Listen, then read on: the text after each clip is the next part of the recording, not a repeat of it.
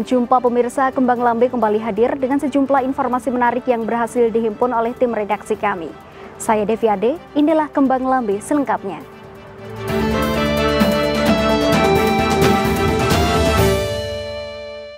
Pemirsa Partai Kebangkitan Bangsa dalam mengawal paslon Mas Dito Mbak Dewi menuju kursi AG1 dan AG2 nampaknya tidak main-main.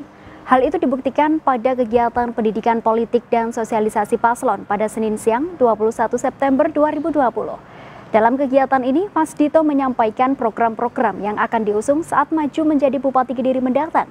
Tak lain, juga mendapat dukungan penuh dari salah satu partai yang mengusungnya, yakni PKB.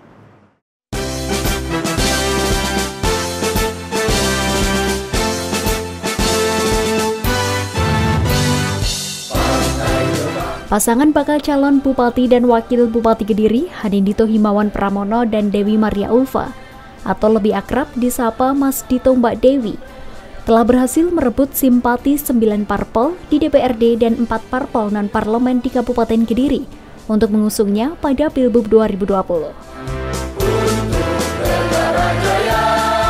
Oleh karena itu, salah satu partai pada 21 September 2020 Partai Kebangkitan Bangsa PKB Kabupaten Kediri menggelar kegiatan pendidikan politik dan sosialisasi paslon. Menang, menang, menang. Terima kasih. Monggo Mas Dito Mbak Dewi, buat DPC PKB. Jadi begini, kita bergerak ini kan dasarnya dengan mesin partai, artinya struktur pengurus tingkat DPC sampai DPRT kita gerakkan untuk memenangkan pasangan bupati dan wakil bupati Mbak Dito dan Mbak Dewi. Oleh sebab itu karena ini struktural berarti harus ada SK yang jelas, SK yang jelas untuk bagaimana kita bergerak termasuk tanggung jawab mereka kepada partai untuk memenangkan Mas Dito dan Mbak Dewi melalui struktur partai kita.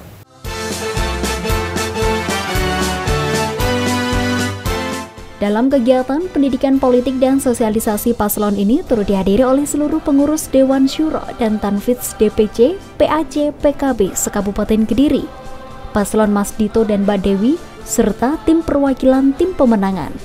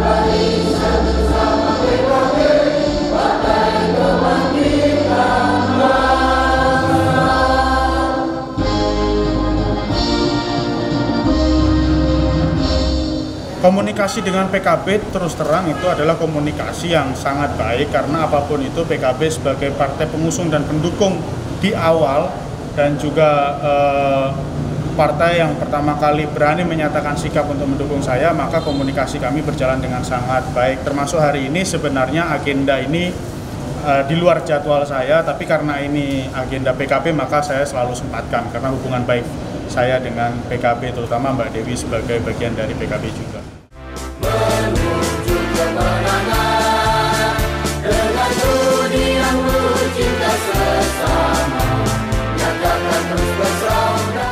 Dalam sambutannya, Mas Dito mengaku masih banyak hal yang harus dirubah di Kabupaten Kediri.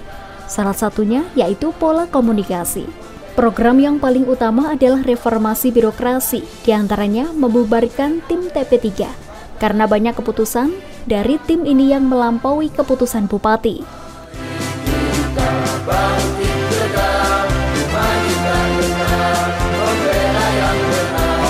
hal yang paling mendasar yang harus dirubah di dalam tubuh pemerintahan Kabupaten Kediri. Apa itu yang harus dirubah? Yang harus dirubah di dalam tubuh pemerintahan Kabupaten Kediri itu adalah pola komunikasinya. Apa yang saya maksud dengan pola komunikasi? Bahwasanya sekarang ini seorang bupati atau kepala daerah rumongso harus diajeni itu sudah tidak lagi zamannya. Maka saya dan Mbak Dewi uh, punya rumusan, punya strategi bagaimana caranya supaya da, me, bisa menangkap segala macam persoalan yang ada di bawah. Maka pola komunikasi ini adalah kunci untuk program-program saya dan Mbak Dewi berhasil. Ini ada beberapa program andalan saya dan Mbak Dewi yang kami rumuskan beberapa bulan terakhir. Yang pertama per hari ini Program yang paling utama itu adalah reformasi birokrasi. Lalu yang berikutnya, melakukan pembubaran tim pertimbangan percepatan pembangunan atau yang dikenal dengan tim TP3. Kenapa kok dibubarkan tim TP3? Karena banyak sekali keputusan dan kewenangan dari tim TP3 ini yang terkadang melampaui kewenangan bupati bahwa guru ngaji Tadi saya itu baru sowan dari Pondok Bendo tadi pagi dengan Gus Hasim. Kalau tidak salah, itu saya dikasih amplop. Saya diamplopi sama Gus kuaket saya langsungan.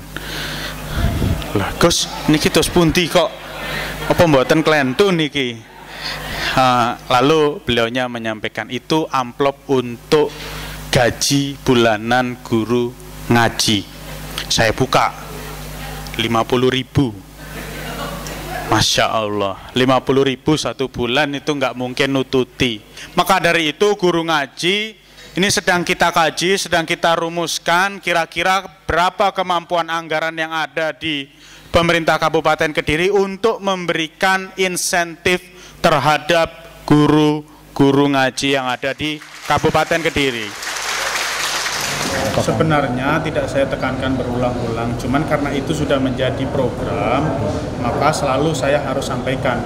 Jadi uh, sebenarnya tim TP3 ini kan uh, untuk mengawasi pertimbangan percepatan pembangunan di Kabupaten Kediri.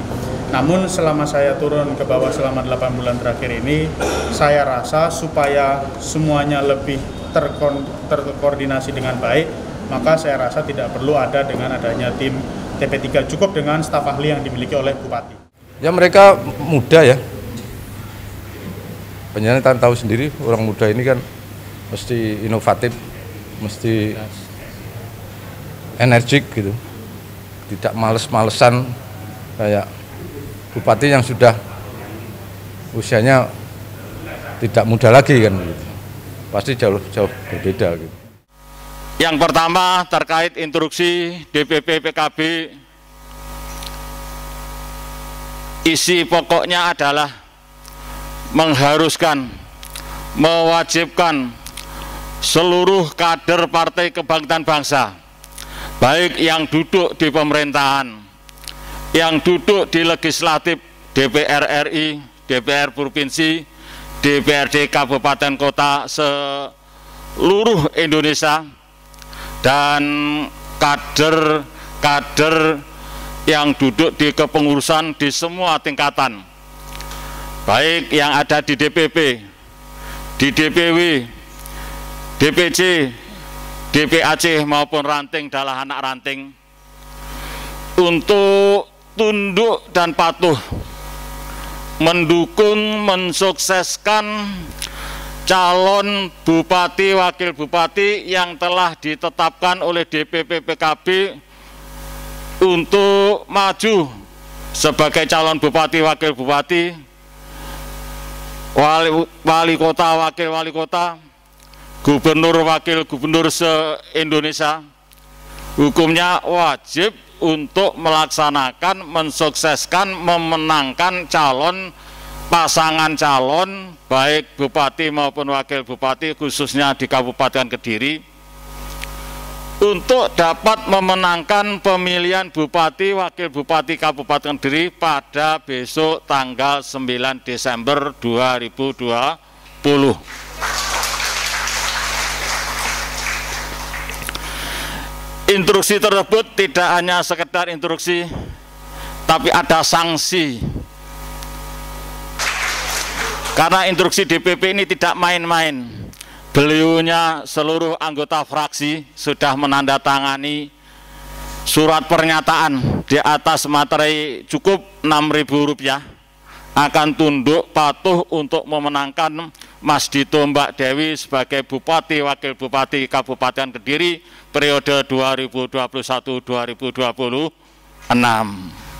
Pak Ketua DPC Pak Haji Sentot ini sudah menyampaikan ke Mas Dito apakah Mas Dito bersedia untuk membantu program PKB yang sampai saat ini belum terrealisasi utamanya terkait dengan uh, honor atau gaji guru-guru ngaji, guru-guru madrasah yang selama ini perannya sangat penting sekali ikut mencerdaskan anak-anak bangsa namun imbalannya ini jauh dari harapan yang layak.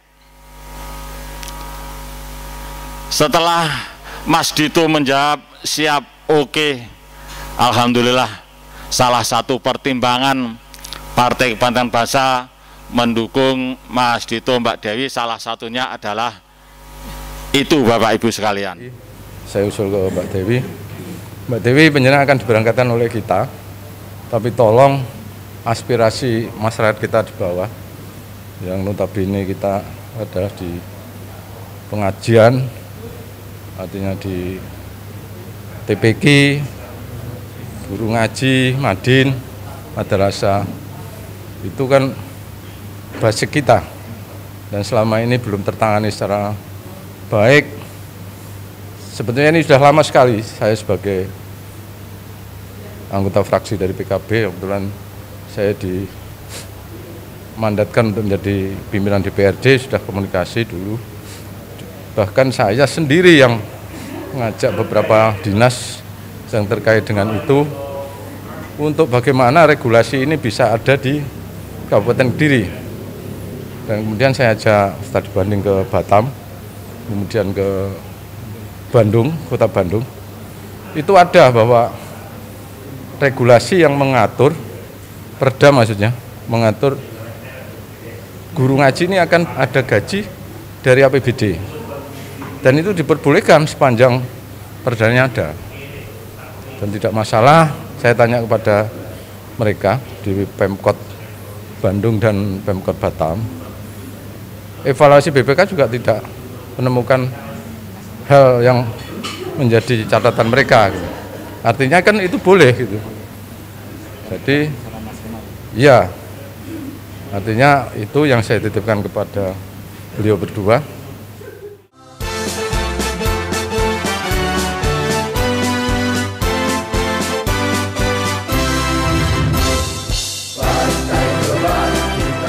Kemudian dalam kesempatan ini juga turut diserahkan surat keputusan kepada Ketua Panitia Pendidikan Politik dan Sosialisasi bagi pasangan bakal calon Bupati Kediri, Mas Dito dan Mbak Dewi.